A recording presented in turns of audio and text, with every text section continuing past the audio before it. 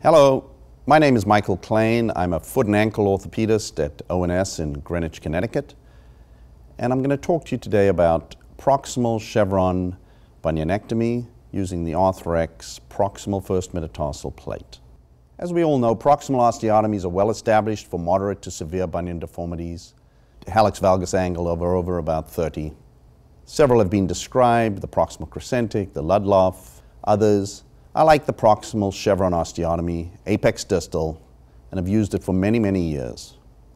In my opinion, distal osteotomies lack the power to correct some of these higher IM angles, and you're likely to have a recurrence, even though the procedure is a lot easier than a proximal procedure. And I also think that the Lapidus fusion is unnecessary for many patients, and it has a longer recovery and bigger dissection, and is, in my opinion, a bit overused. So the proximal chevron has several advantages. I like a medial incision that optimizes cosmesis for the patients. You've got excellent control of the proximal metatarsal piece through the medial incision in that you can pull it medially. You've got two long arms of the osteotomy which give great stability and allow healing. I've never had a non-union. It won't really shorten the first ray, which is a big advantage. And you can allow patients to weight bear at nine days post-op without any problem. There are a few technical tips. I like to release the adductor tendon in the capsule through an incision in the 1-2 interspace, about a one centimeter incision usually does that. I think that's important. I know some people have abandoned that, but I do like that. But the workhorse is the straight medial incision from the base of the proximal phalanx to the base of the first metatarsal, do a medial capsulotomy, resect the medial eminence, not too much, but a little bit. And then you use the plate, which comes in two sizes, and you do need a C-arm to plan out your osteotomy position. The plate has five holes. The central hole is an oval hole, and that's a perfect aiming spot for the apex of your osteotomy. And hold it against the base of the first metatarsal and mark it with a bovie. So when you make the cuts, the plantar arm is deeper than you think. The metatarsal, as we all know, flares down plantarward. And sometimes if it's not quite through, you use a power rasp proximally just to smooth things down. And that'll allow you to move the two pieces relative to each other. Then once you've made the cuts, you pull the proximal portion medially, which I think makes the procedure particularly powerful in that you take out any ligamentotaxis, and you take the distal portion and make it parallel with the second metatarsal. Now, this isn't a slide like a distal chevron. You've got to slide it a bit and you've got to rotate it. And the trick is, under your mini C-arm, you make the first metatarsal parallel with the second metatarsal as you're pulling the proximal portion medially. Once you got it where you want it, then you take a small K-wire and pin the first metatarsal to the second metatarsal, hopefully just through one cortex to prevent any stress riser. And then I usually put another pin dorsal through the distal portion of the metatarsal into the proximal portion. Hold things in place. Then you've got a medial eminence from the proximal portion, which you've pulled medially. Sculpt that to accept the plate. It's important to make it smooth because those two proximal holes and two proximal screws will be the area that may bother a patient. So you want to make sure the plate's sitting very snugly up against the bone.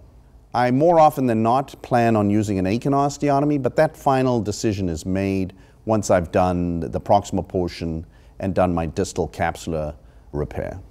The plate has several advantages. It's variable angle, it's very strong, it's low profile, and it has plantar fixation for the two distal holes, which I think keeps the plate out of the way and also creates a lot of strength to the plate and the construct. So here are a few case presentations. This is a 36-year-old woman who has fairly normal left foot, and you can see her right foot has a decent IM angle and a decent HV angle, and you can see the pre and post-op x-rays there with excellent correction. Here's the lateral, and you can see how nicely the plate sits up against the bone. This is a 78-year-old woman, shows you a little bit of the versatility of the procedure. She had some hammer toes, second and third, and a bunionette in the fifth.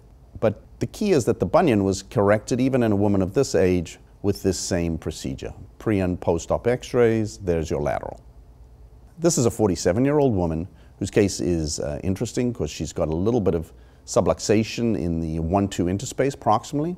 But I still went ahead and did a proximal osteotomy with an Akin here, held it with this plate, and you can see the pre and post-op x-ray with excellent correction as you probably noted, she has a couple of hammer toes done as well at the same time. And that's the lateral. And finally, this is a 28-year-old woman who has adolescent bunions, which she decided to get corrected. And you can see that I've got an excellent correction on the right side compared to the pre-op x-ray on the left. Let me talk a little bit about the uh, perioperative and postoperative course. I like to use a popliteal block. Saphenous blocks are not necessary.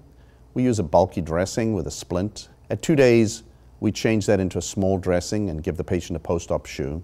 At nine days, the sutures are removed and the patient is allowed to weight bear as tolerated in a post-op shoe. At five weeks, I'll allow the patient to move into a sneaker or a slide. And at that point, we initiate some range of motion exercises. I usually decide whether this is a patient that needs a little help from a physical therapist or whether they can just follow the videos on my website and some instructions that I print up. I tell patients they can expect to be on an elliptical stationary bike, that sort of exercise around six weeks, and hopefully get back on a tennis court and run around three or four months. Of course, there's a little bit of lingering edema for up to six months. So in summary, I think that the proximal chevron osteotomy gives very powerful correction for a moderate to severe bunion deformity. It's strong.